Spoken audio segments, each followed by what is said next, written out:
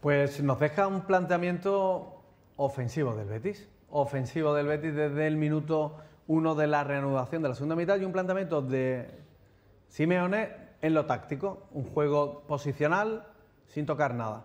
¿Eso qué quiere decir? Que al final, cuando Pellegrini en rueda de prensa ha dicho que faltaba creatividad, es lo que vamos a intentar explicar a continuación.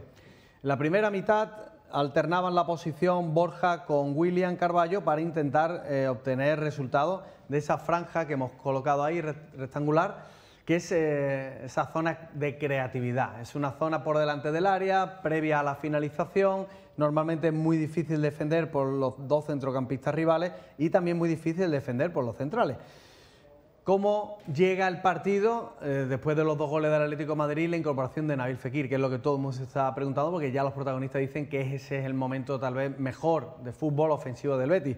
Pues llega con dos extremos puros, Joaquín y Juan Cruz, cada uno en la banda para que el Atlético de Madrid dentro de su bloque bajo tuviese que bascular de banda a banda cuando el balón llegaba hacia, por ejemplo, la posición de Juan Cruz, que lo hemos colocado ahí arriba porque por ahí también a Alex Moreno, ya saben la importancia los espectadores de los laterales, generaban superioridad numérica.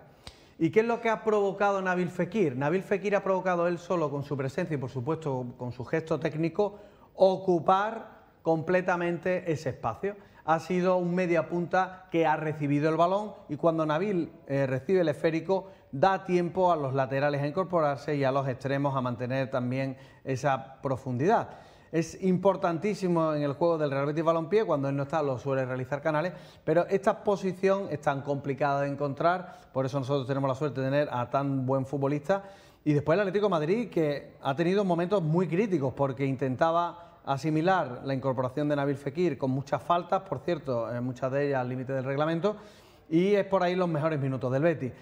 La incorporación de Nabil provocaba acumulación de efectiva del Atlético, que los futbolistas verde y blancos tuviesen amplitud, hemos tenido buenos minutos de profundidad, muy bien la pareja de centrales final y también eh, meritoria la incorporación de Aitor Ruibal, que ha entrado por otra lesión de, Sabalí. Importante también el canterano porque nos ha generado pues, ruptura de línea. En definitiva, el Atlético de Madrid que ha tenido más eficacia de cara a gol, Nabil Fekir que es la mejor noticia de cara a lo que nos viene por delante, acumulamos lesiones, pero el jugador que entra responde muy bien. Y si quieres, Juan, para terminar, pasamos a las estadísticas. Proceda, por favor. Pues el Betis ha tenido un 55% de posesión por un 45% del rival, pero fijaos qué interesante, ¿no? Y ahí eh, yo creo que los compañeros lo, dirán a continuación. 17 tiros del Betis, 17 intentos por 9 del rival. ¿Dónde está la, la diferencia? En la eficacia de cara a portería si contamos con, ese gol olímpico como un disparo.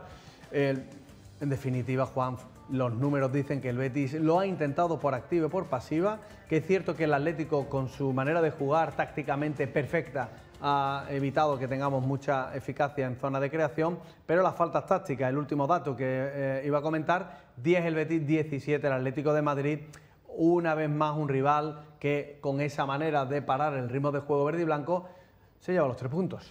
Solo un equipo quiso ganar, gracias Botello, y acabó perdiendo, lo ha dicho Manuel Pellegrini.